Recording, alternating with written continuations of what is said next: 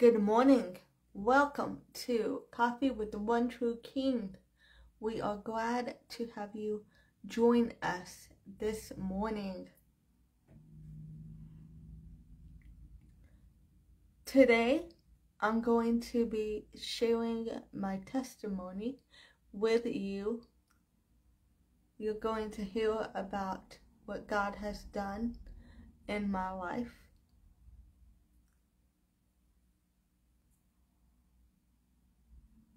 Let us pray, and then we will get started on today's lesson and, and dive into the Word of God. Holy Father, I ask for your Holy Spirit to meet us here, Lord Jesus. Come and have your way, Father God. May you be glorified. May you be lifted up. May you be honored and praised. It's all about you, Jesus. It's not about me. In Jesus' holy name,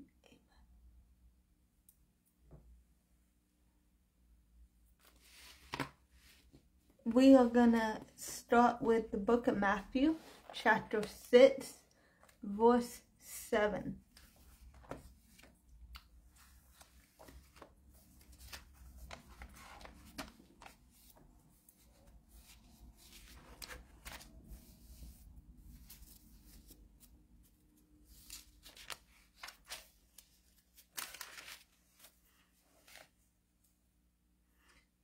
And when you pray, do not keep on babbling like pagans,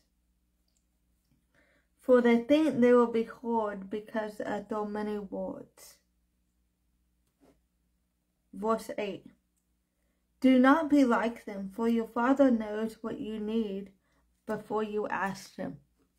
That was Matthew 6, verses 7 and 8. How many of you have ever heard of Christian singer Matthew West. It's been quite some time since Matthew West first, rele first released his song, Walking Miracles. The title of today's lesson is The Ultimate Physician, My Life with Cerebral Palsy.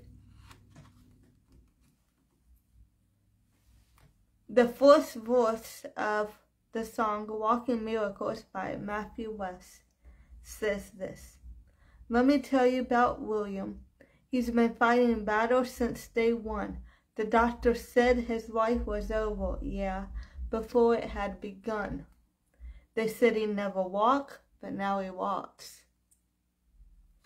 They said he never talk, but now he talks. I guess you could say I guess you could say. He's a living, breathing, walking miracle. The chorus says, Oh, they're all around us everywhere we go. The proof that we should never give up hope, because we serve a God who turns impossible into living, breathing, walking miracles. If you've never heard my story, I have a story a lot like William's. Very similar in the fact that the doctors told my parents the same thing.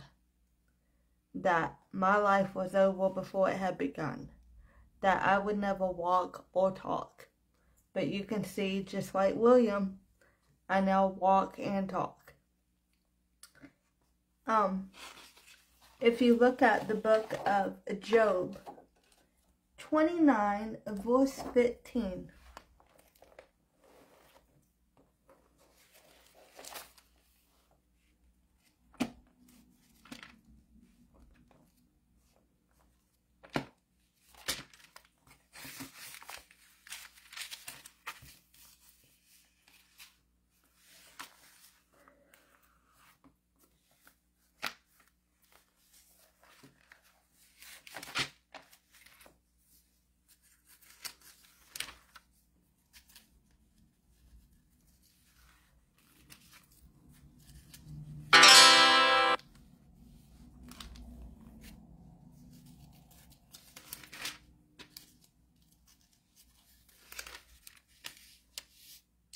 Job 29, 29 verse 15 says, I was eyes to the blind and feet to the lame.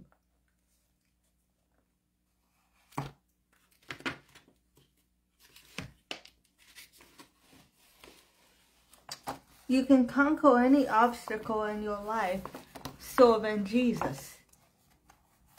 Speaking of that, my life began differently than many others 33 years ago.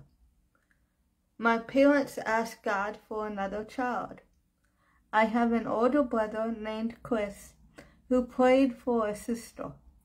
Talking about faith of a child at the age of four, my mom became pregnant. The Lord said you're going to have twin daughters. We were supposed to be her Christmas babies on December 15th, but God had a different plan. My family was so excited.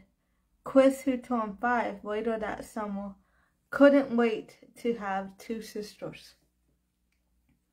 Mom's pregnancy was going well until the 25 week mark at five and a half months.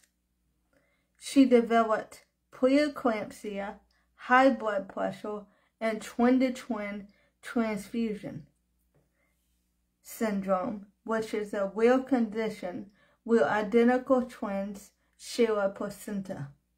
My mom was admitted to a German hospital because she started going into premature labor. Her body thought she was full term. They stopped her labor numerous times, but three weeks later, the day arrived where the medicine no longer worked. The morning of September 15th, she had an emergency C-section, and we made our debuts. Twin B, Leah, was born first. Minute later, twin A, that's me, was born second. Leah weighed one pound zero ounces, and I weighed one pound twelve ounces. Unfortunately, she didn't survive and passed away two hours after birth. I know without a doubt she is in heaven with Jesus, and I will meet her in the future when he calls me home. If you look at the book of 2 Samuel, 4, verse 4, it says,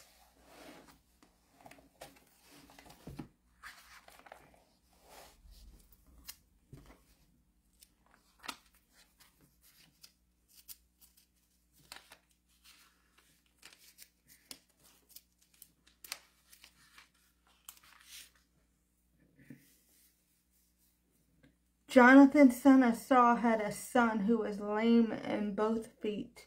He was five years old when the news about Saul and Jonathan came from Jezreel. His nurse picked him up and fled, but as she hurried to leave, he fell and became disabled. His name was Mephibosheth.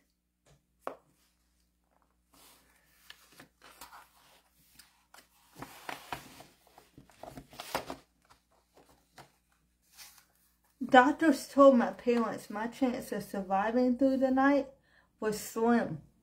And every day after that, they heard, don't get your hopes up. Upon my arrival in the NICU, neonatal intensive care unit, I was placed on a ventilator because I couldn't breathe on my own due to my lungs not being fully developed. I was on the ventilator for about a month until I was able to breathe on my own, which caused my cerebral palsy. I wasn't born with cerebral palsy. Mine happened after birth. It didn't happen during birth. It happened after due to the ventilator. I had eye surgery at three months old. They froze the blood vessels to keep me from going blind. Four months after birth, my parents brought me home on a heart monitor, which I wore daily for a year. My parents thought they were going to get me to get to bring me home that Christmas. But then I had eye surgery right before Christmas. And so the, the doctor said, no, she can't come home yet. And they were all heartbroken because they had looked forward to bringing me home at Christmas. They had the hopes up. And so then they were let down once again. But they kept their faith in Jesus because they knew that He let me live this long. And so they knew that He was going to allow them to bring me home. Allow the, along the way, they noticed there were some developmental delays. I was laughing and snarling like a normal baby, but I wasn't sitting up, crawling, or trying to walk like other children my age were. Almost two years later, my parents requested to return to the U.S. They knew I was going to need services, but they didn't know exactly what type because I hadn't been diagnosed with cerebral palsy yet at that time. I went to several doctors and specialists.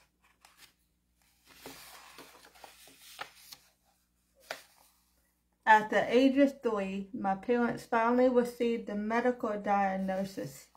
She has cerebral palsy, CP, and is a quadriplegic. All four of my limbs are involved, my legs and my arms.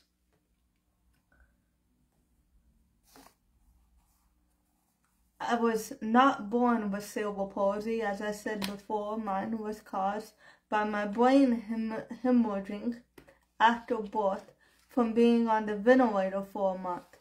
Cerebral palsy affects my mobility and muscle tone. All four of my limbs are involved, as I said before, but particularly on my whole right side. My doctors told my parents I would never walk or talk. However, the ultimate physician had other plans and just goes to show and just goes to show that he can use anyone to serve his kingdom.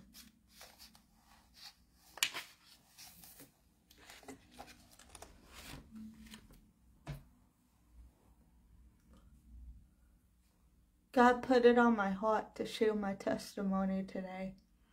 Some of y'all may have heard it before. Some of y'all that um are friends of mine know me and have heard it in the past. Nevertheless, somebody out there needed to hear it again today. Or for the first time. My prayer is that it inspires someone.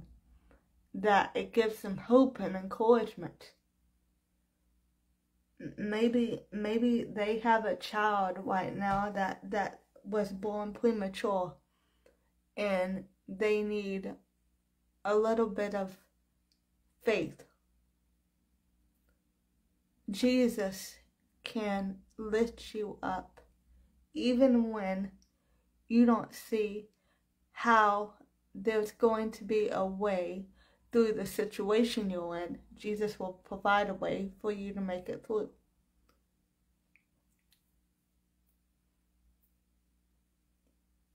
If you have any prayer requests, you can list them in the comment section at this time.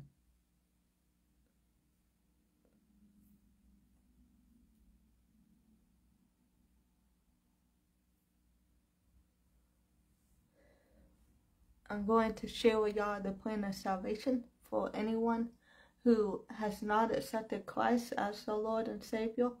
None of us are guaranteed tomorrow. None of us are guaranteed the next five minutes. So that is why it is so very important to accept Jesus into your life and make sure that your life is right with God. Let us pray. Heavenly Father, I admit that I'm a sinner and I need a Savior. Forgive me of all my sins. Come into my heart, be the Lord of my life. Lord, I repent of all my sins. I believe that 2,000 years ago you died on the cross, and three days later, after you went down into that grave, you rose from it, and you ascended into heaven, and you sat down at the right hand of God the Father, and you're still on heaven's throne today. You're making intercession for us. You're answering our prayers, and you're still doing miracles today. You're still healing people today through your miracle working power. You're still breaking chains of bondage and setting people free today. Because you are the ultimate physician. What doctors say is impossible is possible for you, Lord. You are the healer. You are the Savior.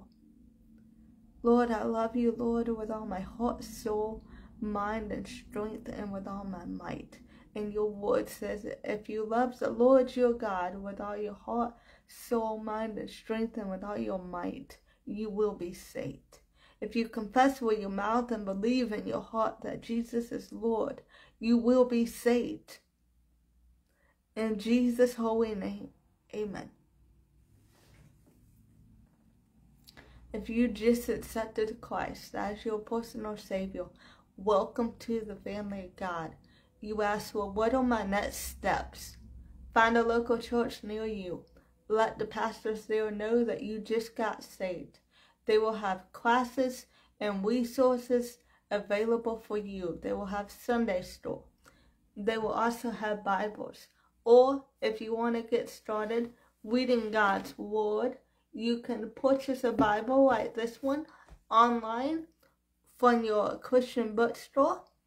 Um, you can there's various uh, retailers that have them online that you can purchase from or you can download the free bible reading apps to your mobile device or tablet and read the bible that way you can also go to your internet browser and the search engine type bible click on one of the websites and you can get god's word in your heart and on your mind that way and memorize it. Just various tools to memorize God's Word and to study the Bible. Um,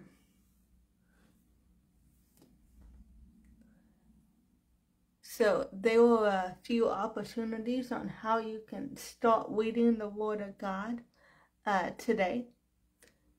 It's very important that you make a time to study the word because the word has complete truth in it. It's 100% truth.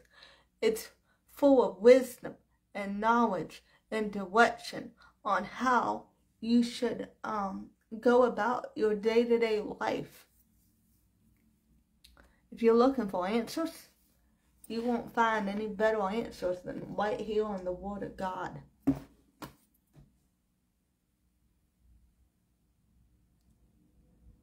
Jesus is the answer. He's the way, the truth, and the life. No one comes to the Father but through him. You'll find that in Scripture. Hope y'all have a blessed week. If you have any prayer requests, y'all can always come to Jesus or Intercessor on Facebook. Click join the group if you haven't already joined, and we will gladly pray for you about anything. Also, if you enjoyed today's lesson and was inspired by it, click that share button. Invite your friends and family members to join us next week as we get back into our series, Falling in Love with Jesus. He never fails. He never leaves. He never fails either. But it's falling in love with Jesus. He never leaves.